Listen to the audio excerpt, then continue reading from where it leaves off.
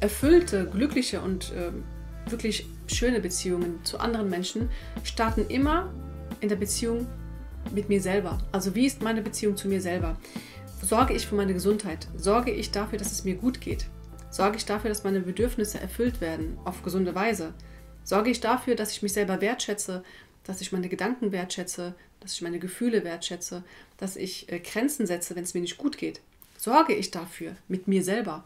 Und da fängt es schon an. Viele, also das beste Rezept, um unglücklich zu sein, ist darauf zu warten, wenn ein Partner da ist, dann kann ich glücklich sein und dann bin ich angekommen und dann kann ich mich erfüllt fühlen. Bestes Rezept für eine richtig Kackbeziehung. Wenn ich aber jetzt anfange, warum? Wenn ich mich selber nicht wertschätze, und das, das fängt schon mit dem Gang aufs Klo an, ja, viele müssen dringend pipi und rennen die ganze Zeit rum und sagen, ich erledige erst das und dann erledige ich das und, dann, und danach. Ich vernachlässige mein körperliches Bedürfnis in dem Moment, weil ich denke, andere Sachen sind wichtiger. Ist jetzt eine Kleinigkeit. Und im Alltag ist es bei ganz, ganz vielen Sachen, wo ich mich auch erwischt habe, dass ich mich selber vernachlässige. Ich starte schon mit der Gesundheit. Was isst du? Bist du respektvoll zu deinem Körper mit dir selber? Oft sind wir es nicht. Und danach haben wir noch Schuldgefühle, weil wir Sachen gegessen haben, die uns krank machen, die uns dick machen, die uns unattraktiv machen. Und wenn wir anfangen, uns selber zu respektieren, wertzuschätzen auf, auf allen Ebenen unseres Lebens, dass wir auch Grenzen setzen, wenn wir erschöpft sind, wenn wir müde sind, wenn wir krank sind. Ey, ich war der Typ Mensch, als ich noch bei der Bank war, ich gehe krank zur Arbeit, ist mir scheißegal, ich mache nicht krank, ich bin die ganze Zeit da.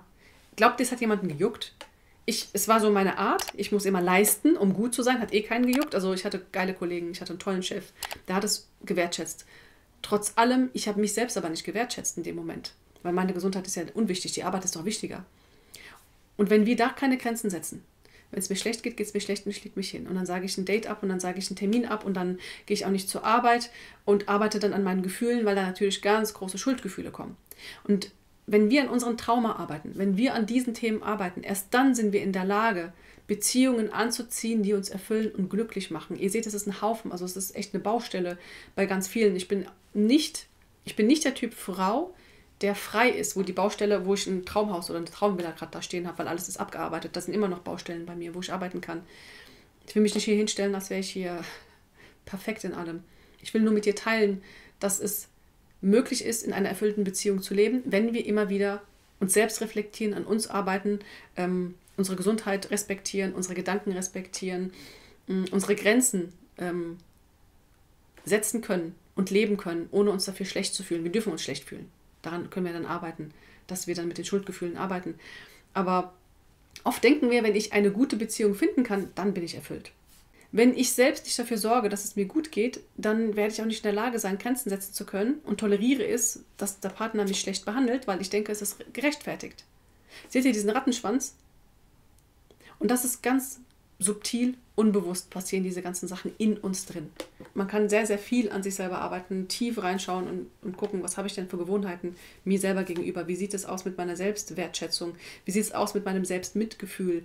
Das tue ich selber die ganze Zeit in mir integrieren, Selbstmitgefühl mit mir zu haben. Gerade dann, wenn ich anfange, böse mit mir zu werden. Es ist immer noch da. Es ist immer noch da.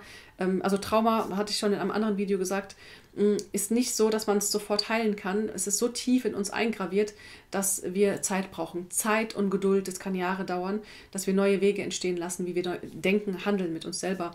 Und Selbstmitgefühl, gerade dann, wenn wir schlecht über uns selbst denken, weil wir denken, wir sind nicht gut genug, wir haben das nicht geschafft, wir haben das nicht gemacht, ich habe mein Kind angeschrien, ich habe das, das, das, das, dass wir da Selbstmitgefühl haben für uns, weil niemand macht bewusst, es gibt auch Menschen, die machen bewusst, aber die wenigsten versuchen bewusst Sachen falsch zu machen, andere zu verletzen, ähm, Beziehungen zu zerstören. Das macht kaum jemand bewusst. Das ist alles ein unbewusstes Verhalten. Und wenn wir da selbst Mitgefühl für uns selbst entwickeln können, werden wir auch das von anderen Menschen anziehen können, dass sie mit uns Mitgefühl haben. Wenn du äh, dazu ähm, ja, Begleitung haben möchtest, guck unten auf meiner Webseite, da kannst du dich ähm, kostenlos eintragen, können wir miteinander telefonieren und ich schaue, ob ich dir helfen kann. Ich wünsche dir eine wundervolle Zeit und bis bald zu einem der nächsten Videos.